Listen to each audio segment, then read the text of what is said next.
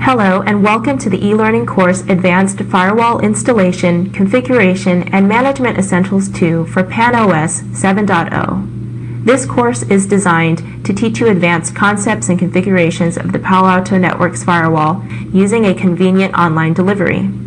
At the end of each module is a knowledge check which you are encouraged to successfully complete before moving to the next module. We also strongly recommend you configure the labs as instructed in the lab guide, especially if you plan to complete any of the Palo Alto Network certifications. Thank you for launching this e-learning course and we hope you enjoy your time with us.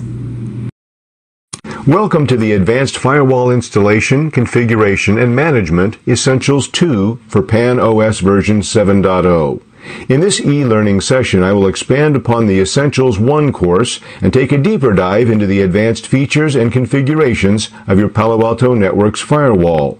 Each of our topics will be discussed in modules as shown below.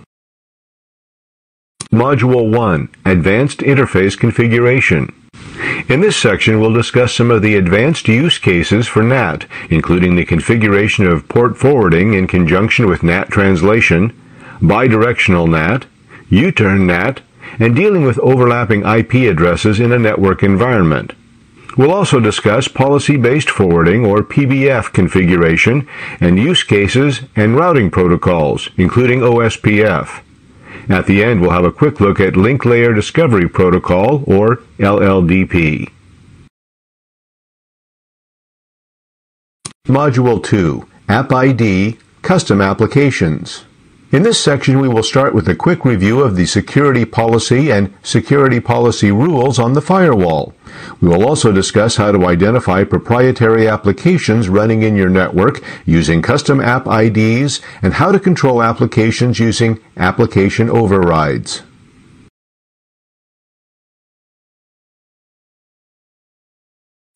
Advanced Content ID. In this module, we'll talk about custom threat signatures, the data filtering security profile, zone protection and DOS protection profiles, and the botnet report. In this section, we will cover some of the options available for user ID, specifically the process of mapping a source IP to a user name.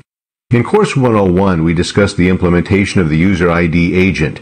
Here, we will be discussing options that do not use the user ID agent, such as the use of the terminal server agent, captive portal, and the use of XML scripting and our API. Module 5 Quality of Service In this section, we will discuss the creating of QoS policies and profiles, how they are added to interfaces, and some of the QoS monitoring tools. Monitoring and Reporting in this section, we will look at forwarding logs and alerts via email and syslog. We will also look at forwarding alerts for zone protection profiles and how to configure SNMP v2 and v3. Additionally, we will look at the firewall's reporting capabilities. Module 7 Global Protect. In this section, we will begin with an overview of Global Protect. Next, we will detail the connection sequence that Global Protect uses and then the preparation of the firewall for Global Protect. We will also explore the configuration steps for the three parts of the Global Protect solution, the portal, the gateways, the agent software. We will get a look at Global Protect's ability to support a one-time password, and then we'll explore the concept of host checks. Finally, we'll look at enabling large-scale VPN deployment with Global Protect. Module 8 Mobile Security Manager. In this section, we will see an overview of the GP100 device that is at the core of the Mobile Security Manager. We will also explore deployment policies and see options for managing mobile devices. Module 9 Active-Active High Availability. In this module, we will perform an overview of active-passive HA, discuss active-active HA concepts, and examine active-active deployment options as well as active-active HA configuration. Additional important re the support portal is the live community. Next, take a look at the finally, check out few at the end of selected modules in this e-learning are hands-on labs that you are strongly encouraged to set up and complete. Once these labs are completed, you should be able, as mentioned at the start of this course, we highly recommend Welcome to Module 1, Advanced Interface Configuration. In this section, we'll